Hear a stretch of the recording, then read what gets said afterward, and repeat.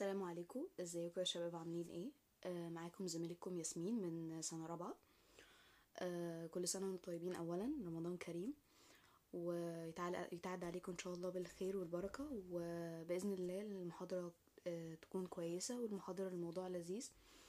والموضوع ده مهم جدا جدا جدا. ومكمل معانا إن شاء الله يعني إن شاء الله بإذن الله لما تاخدوا الحروق آه، في سنة رابعة الموضوع ده من أهم المواضيع في term الحروق والجراحة. فبإذن الله يكون المحاضرة سهلة. ويلا نبدأ فيها. طيب موضوعنا النهارده mainly عن ال manual lymph drainage طيب هنتكلم عن كام حاجة في المحاضرة دي هنقولهم. أول حاجة آه هنعرف مبدئيا إيه هو ال lymphatic system.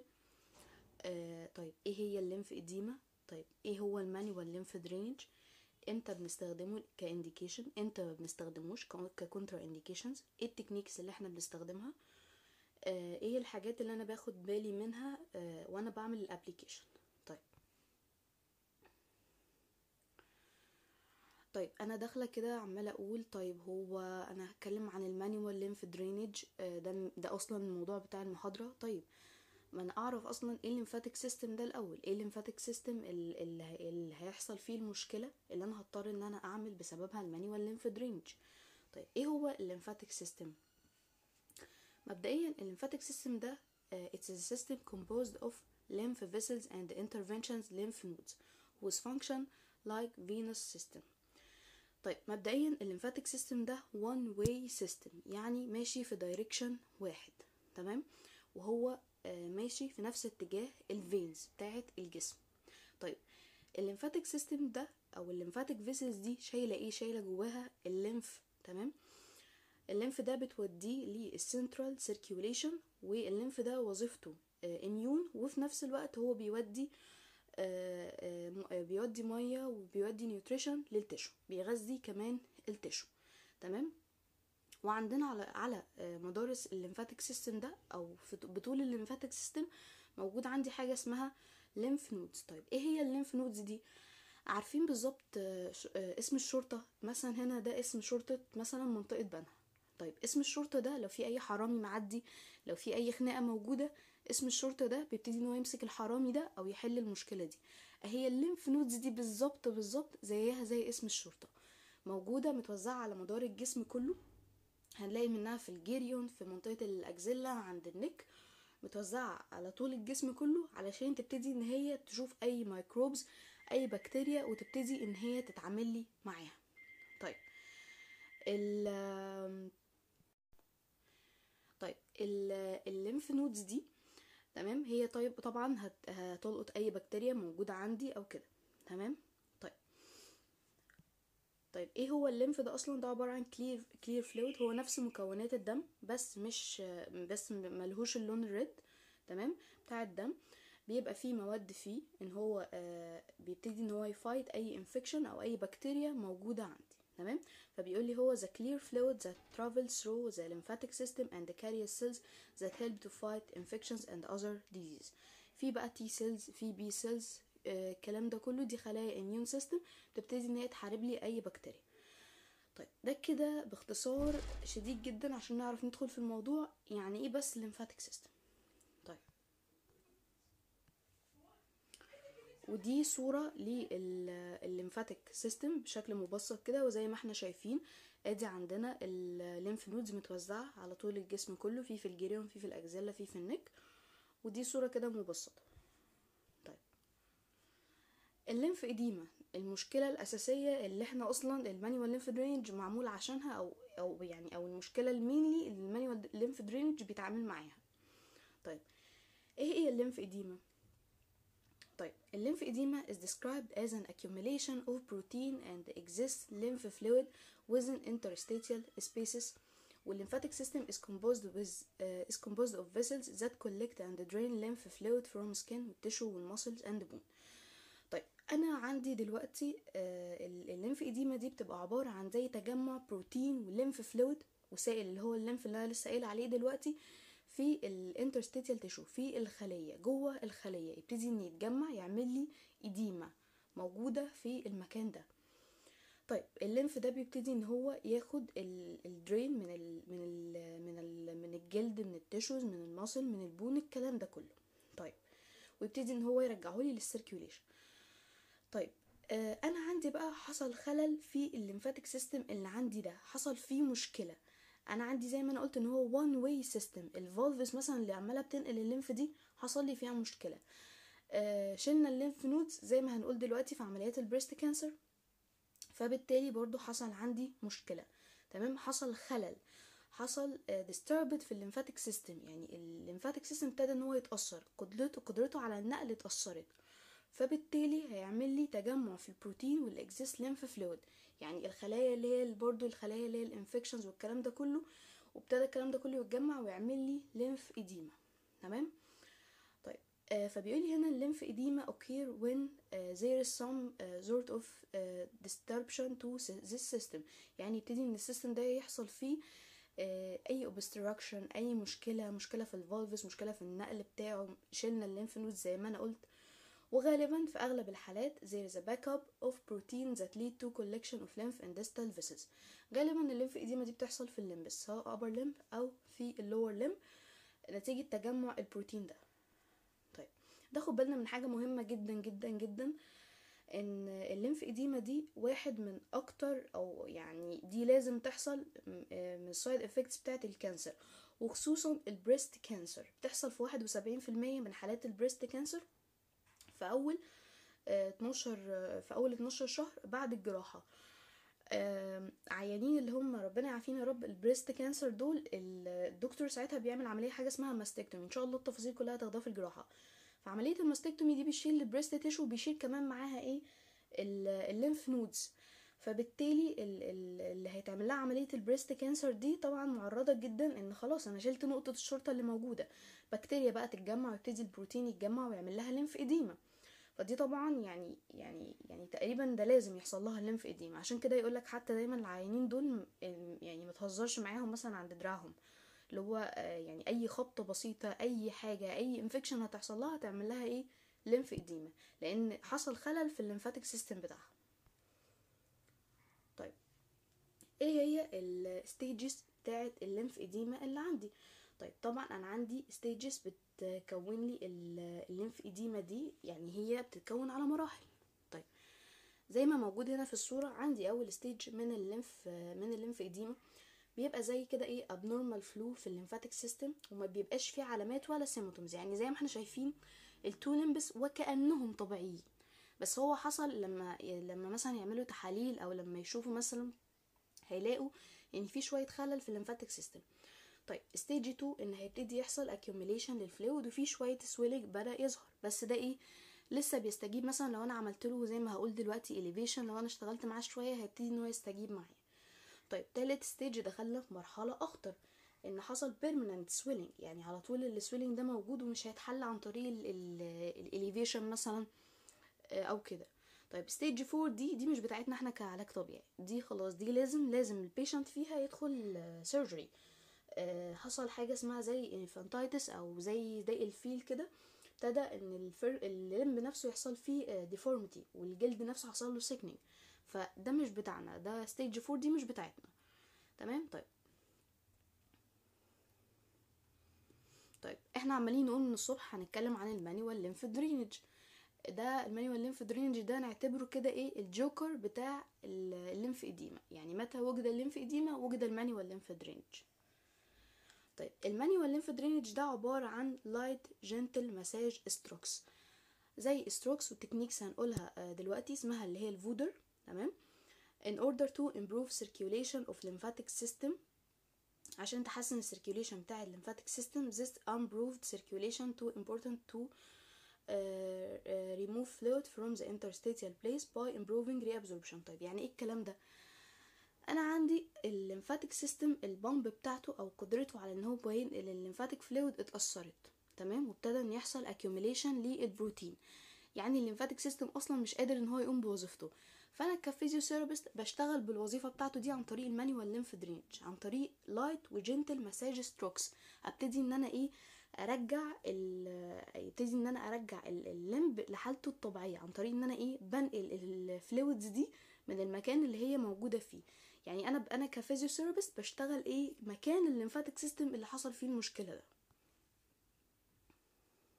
طيب هو بيتكون عندنا من إيه؟ أول حاجة خالص medical massage سواء لل affected أو ال sound part بعمل مساج على الاثنين على الجزء السليم والجزء ال affected طيب تاني حاجة ال elevation. ال elevation مهم ليه؟ علشان أنا لازم إن أنا أرفع الليمب في اتجاه الجرافيتي فيأسست كده إن ال fluids تبتدي إن هي إيه؟ ترجع للمكان بتاعها الطبيعي. تالت حاجة compression وده هقوله دلوقتي تمام؟ تبقى حاجة كده زي رباط الضغط أو جهاز تاني هقوله عشان يبتدي إن هو إيه؟ يقلل لي دي. طيب رقم أربعة muscle contraction. ال exercises بقى اللي أنا هشتغلها. رقم خمسة skin care to avoid infection. طبعا أنا لازم إن أنا أحافظ على المكان ده. آه لازم إن أنا أرطبه أحافظ عليه إن هو يكون dry آه أحافظ على ال hygiene عموما بتاع المكان ده علشان ما يراكمليش infection تمام؟ لأن ده في عندنا proteins وفي عندنا خلايا ميتة وفي عندنا في عندنا يعني dead tissue كتير في المكان ده. فبالتالي أنا لازم إن أنا أهتم بال hygiene بتاعه. تمام؟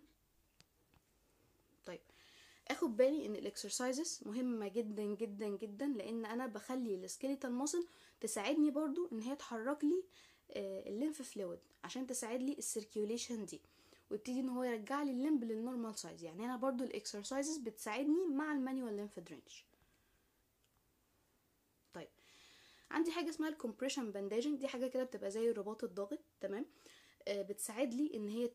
إن هي ت encourage ال circulation أو إن هي تحرك لي ال circulation وتخلي ال lymphatic system يعمل filtration لل fluids اللي اتجمعت دي آه وبستخدم الكلام ده مع ال elevation طيب الصورة اللي عندي في الأول دي لجهاز اسمه intermittent pneumatic compression آه ده بيبقى زي جهاز كده بيتلبس في ال limb نفسه هتاخدوا تفاصيله إن شاء الله في في الحروق لأن ده جهاز مهم جدا في علاج ال edema آه وبرده بيساعد لي إن هو يقلل لي إيه من ال lymphedema طيب تاني حاجة عندنا ده اللي هو الرباط الضاغط. ده زيه زي اللي إحنا بنشتريه مثلا من الصيدلية برضو بيخفف لي من ال lymphedema دي. طيب إيه ال indications بتاعتي؟ إمتى أنا بستخدم ال manual lymph drainage أول حاجة طبعا اللي إحنا عمالين نتكلم فيه اللي هو ال lymphedema آه ولو في برضو عيان عنده chronic edema لأي سبب ما عدا الأسباب اللي هقولها دلوقتي أو post surgery swelling حصل مثلا swelling بعد بعد العملية أو كده. تيجي مثلا infection أو حصل أي accumulation لل fluids برضو ممكن أشتغل معاه بال manual lymph drainage إيه ال contraindications أو الحاجات اللي أنا أخلي بالي منها؟ إن أنا ما اشتغلش مع العيان ده manual lymph drainage لأن كده هبقى بضر العيان. أول حاجة ال edema اللي بسبب ال renal failure العيان اللي عنده renal failure ال kidney خلاص ما بقتش قايمة بالوظيفة بتاعتها. فانا طبعا مش هقدر إن أنا أشتغل معاه manual lymph drainage لأن ده بروتين وال kidney أصلا ما عندهاش قدرة إنها تعمل filtration للبروتين. طيب تاني حاجة ال edema اللي بسبب ال heart failure إن شاء الله في البطنة بإذن الله. ال heart failure ده يعني من الآخر القلب مش قادر إن هو يلبي احتياجات الجسم من إن هو يضخ ال circulation القلب مش قادر إن هو يضخ ال circulation أو يضخ دم كافي للجسم. فده اللي هو ال heart failure تمام؟ فطبعا أنا عندي ال circulation مش تبقى مساعداني خالص إن أنا أعمل manual lymph drainage وهبقى بحمل على الجسم أكتر فبالتالي أنا كده هأذي العيان مش هفيده. طيب تالت حاجة ال edema اللي بتحصل نتيجة ال burn آه بعد الحروق آه في أول يعني بتبتدي إن يتكون عندي edema ال edema دي بيكون ال peak بتاعها بعد تم أو يعني أقصاها بيكون عند 38 ساعة وبيكون ال edema دي بتبتدي إن هي تقل بعد 72 ساعة. فأنا العيانين الحروق أنا ممكن أستخدم معاهم intermittent pneumatic compression ممكن أستخدم معاها ال compression bandaging بس إن أنا أستخدم معاه ال manual lymph drainage لا فمش هيساعده قوي فأنا ما ينفعش إن أنا أستخدمه مع عيان الحروق. أنا أصلا المفروض إن أنا ال edema دي أنا عايزها تفضل موجودة. ما ينفعش حتى يقولك يعني ده دلوقتي concept ده اتلغى إن بعد الحروق أو كده ما ينفعش إن إيه الناس كانت تجيب دبوس مثلا وتشيل ال edema اللي اتكونت دي. لا لأن المواد اللي بتبقى جوه ال edema دي بتساعد أصلا إن هي ت heal ال tissue ده وبالتفاصيل إن شاء الله الكلام ده هتاخدوها في الحروق. طيب آه رقم أربعة ال acute inflammation طبعا عيان جالي في الحالة ال acute صعب برضو إن أنا أستخدم معاه manual lymph drainage طيب آه رقم خمسة والأخيرة ودي المهمة ونأكد عليها كتير جدا ال deep venous thrombosis عيان عنده مثلا جلطة عنده DVT في ال lower limb و وعرفنا إن هي بنعرف العلامات بتاعتها منين إن عيان عنده hotness و redness و swelling تمام؟ فبالتالي العيان ده أنا هسيبه. هكلم الممرضة ساعتها وتخلي دكتور ال cardiology يبص عليه ويشوف المشكلة عنده من إيه. ولو آه، طلع عنده DVT ساعتها الدكتور بيبتدي إن هو يديله إيه؟ حقن anticoagulant وكده آه، مضادات للتجلط. فأنا ما ينفعش إن أنا أشتغل معاه. أنا لو اشتغلت معاه هحرك الجلطة دي من مكانها من ال... من رجله هتروح عند الرئة تعمل لي حاجة اسمها pulmonary embolism وكده العيان هيموت وهبقى أنا السبب في وفاة العيان. فلا ما ينفعش عيان يكون عنده deep venous thrombosis أشتغل معاه طيب أنا بشتغل medical massage لل sound part أو ال limb السليم. طيب ليه أنا بشتغل medical massage لل sound part طب ما أشتغل على affected part بس. فبيقول لي هنا ال purpose uh, it's to produce vasodilation of the sound part to allow excess fluid in the intra intracellular spaces of the affected part to enter the lymphatic system of the sound part. وال strokes بتاعتي بتكون effleurage يعني إن أنا بعمل vasodilation في الجزء السليم ده علشان لما أجي أعمل مساج في ال- ال limb التاني يبتدي إن ال fluids والبروتين الزيادة دي تدخل في ال limb في ال limb السليم. فبالتالي ال limb السليم ده أصلا ما عندوش مشكلة. يعني ما فيش ما حصلش مثلا مشكلة في ال في ال lymphatic system بتاعه أو ال- ال lymph ماشي فيه بصورة طبيعية فهو كمان بيساعدني. أنا ممكن أشتغل حاجة زي ال effleurage أنتوا أكيد خدتوها في السكاشن. أبتدي إن أنا أشتغل إيه gentle بس كده إيه مساج على المكان ده بحيث إن هو يعمل لي vasodilation طيب طبعا mainly هشتغل medical massage على ال affected part أه بشتغل ال Vodder technique اللي هي بتزود لي ال effectiveness أو بتزود لي الفعاليه ال lymphatic pump زي ما أنا قلت أنا بشتغل مكان ال lymphatic system اللي باظ أو اللي حصل فيه مشكلة. This is done by using high pressure and zero pressure. بستخدم أحيانا يا إما أضغط يا إما مثلا ممكن أحط إيدي في position وما بضغطش. تمام؟ آه وبستخدم ال hand آه عشان أحرك ال fluid ده في ال direction بتاع ال lymphatic flow. يعني إن أنا زي ما أنا قلت أنا هحركه إيه؟ هشتغل أنا مكان ال lymphatic flow اللي مش اللي مش شغال ده. آه بعد كده after pressure phase the therapist begin relaxation phase يعني أنا بضغط شوية وبعد كده إيه؟ ب relax شوية. تمام؟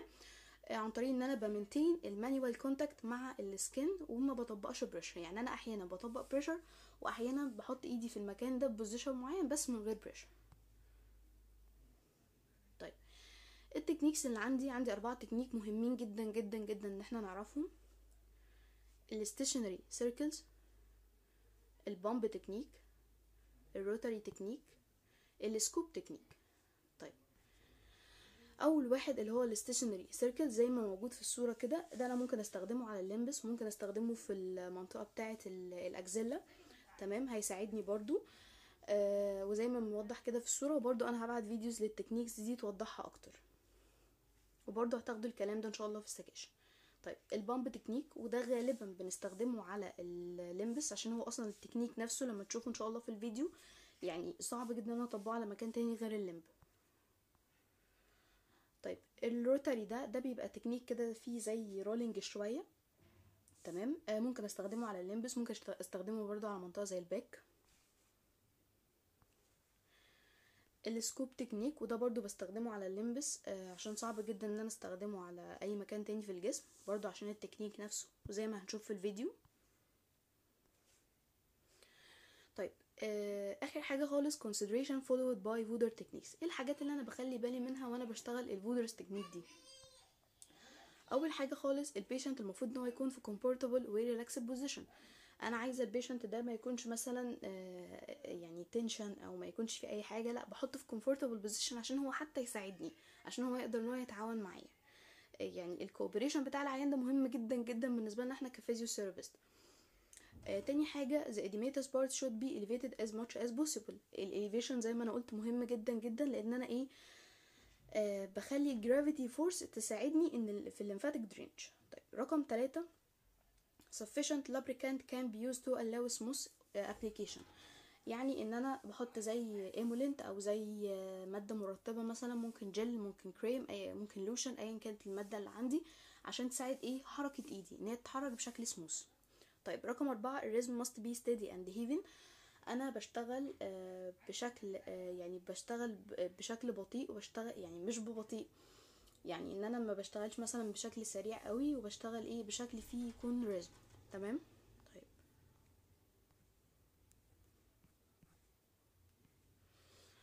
آه، رقم خمسة ال duration بتاعتي من 15 ل 30 minute آه، يعني بشتغل يعني ربع ساعة نص ساعة. معتمدة بقى على حسب ال size بتاع ال area يعني أكيد الوقت اللي أنا هاخده في ال lower limb مش زيه زي ال upper limb أكيد الوقت اللي هاخده مثلا وأنا بطبق على ال abdomen أو على ال back مش زي الوقت بتاع ال limbs آه على حسب ال speed بتاعت ال motion بتاعتي تمام؟ آه على حسب يعني السرعة بتاعتي على حسب ال age وال condition بتاعت ال patient ممكن يكون ال patient أصلا ما يستحملش مثلا معايا آه patient مثلا سنه كبير آه مش قادر مثلا إن هو يستحمل معايا مثلا في ال techniques آه ممكن يكون حالة ال patient ما تسمحش مثلا أكتر إن أنا أشتغل مثلا ربع ساعة في patient لا أقدر إن أنا أكمل معاه. آه رقم ستة ببتدي ال treatment بتاعي من ال proximal لل distal تمام؟ في ال direction بتاع ال venous return تمام؟ طيب. طب أنا خلاص عملت بقى ال manual lymph drainage وخلاص بقى فضيت المكان ده من ال edema. ما أنا عايزة أحافظ على المكان ده إن هو ما يرجعليش تاني يتكون lymphedema. فابتدي إن أنا أستخدم ال compression bandage اللي هي زي رباط الضغط عشان أمنع إن هو يزود لي ال intracellular fluid و maintain ال size بتاع ال limb بحيث إن أنا مثلا لما أجي أشتغل مع المرة الجاية ما الاقيش شغلي ده واقع في الأرض. لا ابتدي إن أنا إيه أحافظ على ال contour بتاع المكان ده. ابتدي إن أنا ألفه wraps يعني ألف المكان ده تمام؟ عشان أزود ال pressure gradient على ال tissue أو إيه أزود الضغط على المكان ده. طيب. سريعا كده إحنا اتكلمنا عن إيه في المحاضرة دي تمام؟ إحنا اتكلمنا مبدئيا كده قلنا فكرة عامة عن ال lymphatic system تمام؟ وقلنا هو بيتكون من إيه. وقلنا إن هو وظيفته له وظيفة immune تمام؟ آه وقلنا إن ال lymphatic system آه بيشت... يعني هو بيشتغل في نفس ال direction بتاع ال...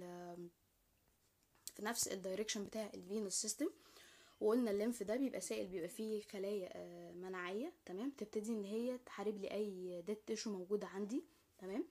بعد كده قلنا ال lymphedema بتبقى عبارة عن تجمع proteins في ال interstitial tissue بسبب إن أنا مثلا شلت ال lymph nodes بسبب إن حصل أي obstruction في ال في ال lymph في ال lymphatic system بسبب إن أنا مثلا ال lymphatic system ما بقاش قايم بالوظيفة بتاعته بشكل كويس. تمام؟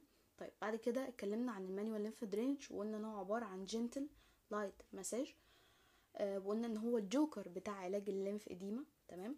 بعد كده قلنا إن إحنا بنستخدم ال manual lymph drainage. بيكون عبارة عن إن أنا بعمل massage لل affected part ولل sound part وقلنا إن أنا بشتغل على ال sound part بسبب إن أنا عايزة يحصل vasodilatation عشان هو كمان يساعد لي إن ال lymphatic flow يشتغل كويس أو إن هو إيه يدخل جزء من ال يعني وأنا شغالة في التكنيك مثلا على ال limb التاني يدخل جزء من البروتين ده في ال limb السليم. عشان ال limb السليم طبعا مفيش فيه مشكلة.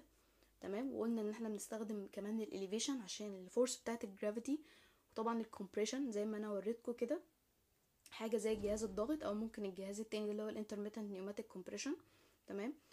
بعد كده اتكلمنا عن ال indications طبعا ال lymphedema طبعا edema اللي بعد ال surgery آه طبعا ال لو الشخص ده عنده chronic edema طبعا قلنا ما ينفعش إن إحنا نستخدم ال manual آه lymph drainage مع عيان ال renal failure وال heart failure أو عيانين بعد الحروق أو ال DVT تمام؟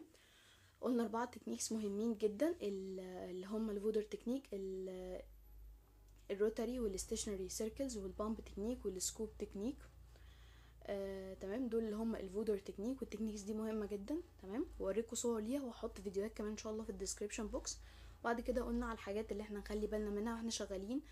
لازم العيان يكون relaxed لازم إن أنا أحافظ على ال elevation واستخدم emollient أو زي مرطب. وبرضو إن أنا أشتغل آه يعني أشتغل في ال duration من 15 ل 30 minute تمام؟ على حسب بقى كل patient ال size بتاع ال area على حسب سرعتي وأنا ماشية على حسب برضو عمر العيان والحالة بتاعته.